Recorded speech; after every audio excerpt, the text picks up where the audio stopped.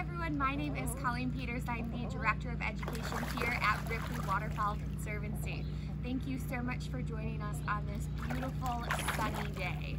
So today for this species highlight video, we are going to take a look at the harlequin duck. So as we shift our focus over to this species, you'll notice that we have two different types of birds in front of us.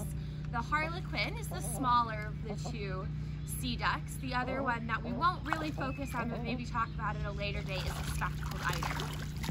Now the harlequin in front of you, we have two males and two females. And the harlequin is a small diving duck.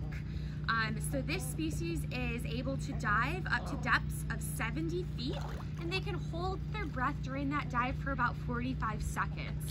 Now they primarily dive like this while foraging for food. Their diet mostly inc uh, includes aquatic invertebrates. Now you can really see the variation between the coloration for the males and females.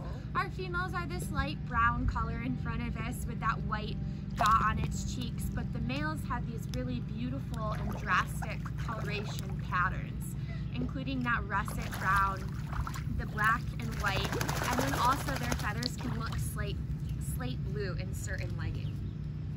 Um, now when this species forages underwater, they propel themselves forward utilizing their feet and they actually stretch their wings out a little bit to help them steer. As we're entering into breeding season, we might catch a few displays on the video today, um, but this species is a little bit unique because it can remain monogamous or stay with its same partner over multiple breeding seasons.